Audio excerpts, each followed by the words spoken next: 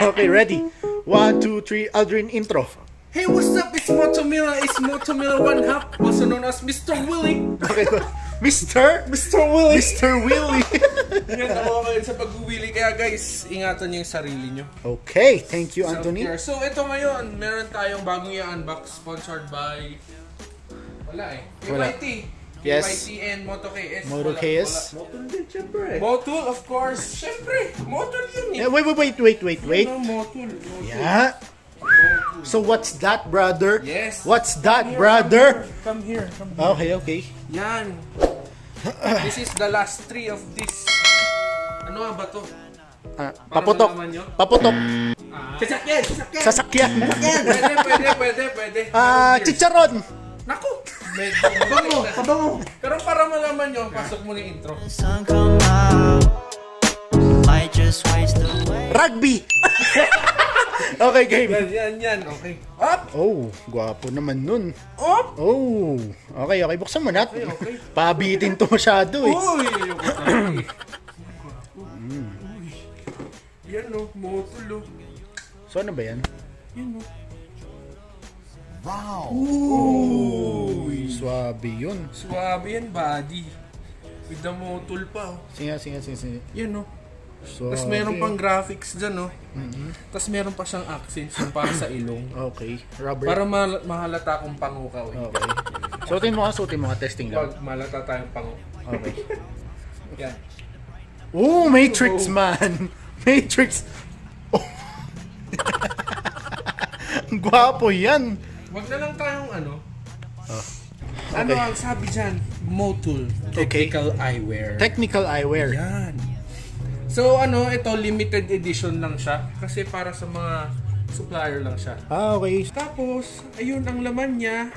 Yan, wala nang iba. Tapos meron pinaka-special na bag. Sobrang pinahalagahan nila tong technical eyewear nila. Okay. Yan. Pati yun yung graphics dun sa, ano, sa pouch.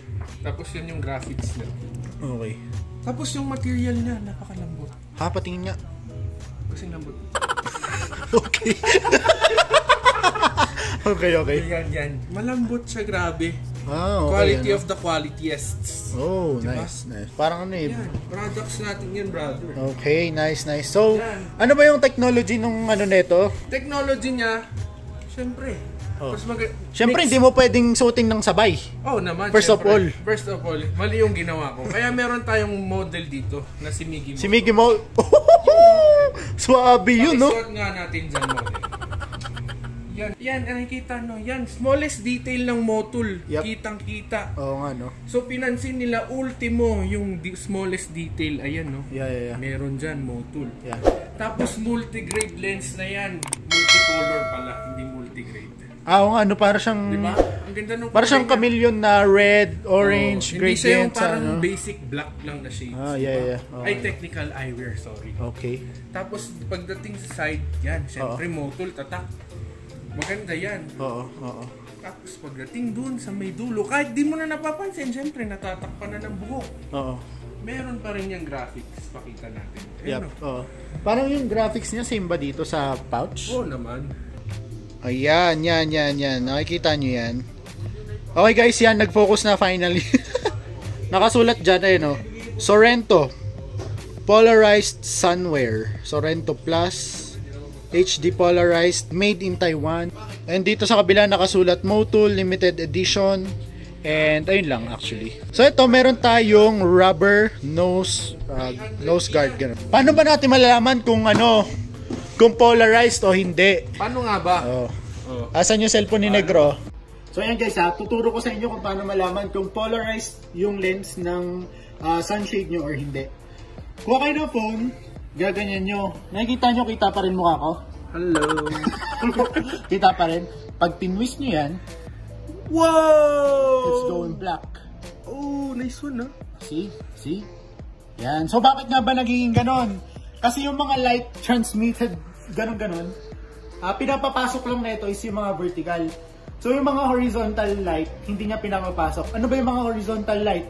For example, nagda-drive kayo ng sasakyan, pang. Tapos minsan, di ba, naka dun yung araw, tapos, ayun oh, yun yung araw oh. Di ba? Oo, yun Kunwari, yung- araw. Yun yung araw, oh. Ilaw.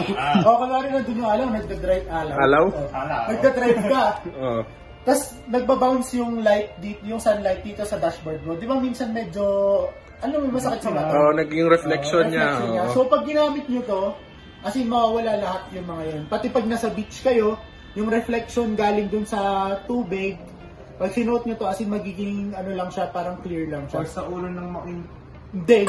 Sa So, sabi. ayun, sabi na nga ni Aji kung ano yung polarized dito, no? Ang galing ng technology ngayon ko lang nalaman yun. Kasi pag bumibili ako ng shades, shades lahat yun eh. Oo.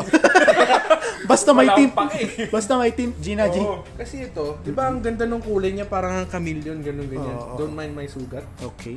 Tapos pagdating mo dito, syempre plain black lang siya kasi lang, di ba? Hindi, ano na siya, ah, mer- medyo bluish tint siya. Try mo. May pagka bluish pero black pa rin, di ba? Oh, mostly, ano Pangit, siya. ang pangit, Ang pa- pangit, ang pangit ko. Nakakawa. Ang, ang pangit, ang pangit. Pangit, ang Nakakawa. Ito, isa pang napansin ko dito. Yan, yan, yan, may napansin Sa eyewear na to. Pansin ko sa eyewear na to, hindi siya super flat gaya ng dito sa may ano, dito sa taas lalo na. Hindi siya like super flat na ganun. Medyo pa-round siya. Alam niyo kung bakit ganyan? Kasi kapag nag-helmet kayo, for example, yung helmet nyo, yung single visor lang, uh, TT course, ganun, ah, Vendetta, ah, mas maganda kasi talaga tong isuot kahit naka-helmet kayo compared sa mga normal na Ray-Bans, ganun. Kasi talagang made for motorsports talaga tong ah, eyewear na to. Kumbaga, aero, may aerodynamic. Oo, kung ba, oh, dahil sa shape niya, 'di ba? Aerodynamicity. Tama ba? Is there a word Oh, yeah. like that? So yan guys ha, ang look niya. Sobrang wow. So, pasensya na guys sa quality ng videos. Hindi, Paano maganda, mag-video. Hindi, paano, paano tayo mag-video? Ay, oo, Kasi medyo- impromptu lang to eh. Medyo magulo yung pagka-video namin. Pero syempre, since love yun naman kami, Yeah. I hope you understand. Oh, di ba ang At least, di ganda? ba oh? yung pag-video namin authentic, special, medyo specialist, tas indigenous yung blend namin. Yan. May iba't ibang lahi kami. So yun guys, dito na mag-end ang aming video. Yeah. So, mga model. Oh, model, pakinga please. Yes. Anthony, dito ka. Mag-end na tayo ng vlog. Okay. Ikaw mag-outro. Go. So thank you so much guys another Teka lang yung truck. So thank you so much guys for watching another Moto Mirror review ng Motul Technical Eyewear. You know, Wait. kanya-kanya kami oh. Yan. Yun no. Technical Eyewear. For more videos, click here and click at the bottom below, syempre sa description. Tapos ito, like and share and subscribe nyo na rin sa Migi Moto. Ayan. Yan. So ayun, salamat sa panonood. Huwag nyo kalimutan mag-subscribe guys. Nandyan yung button down below. Tapos i-like nyo na rin yung video na to. Yeah. And that will be it. Goodbye. Goodbye. Goodbye. in the skull, rolling, ride, rolling when you ride,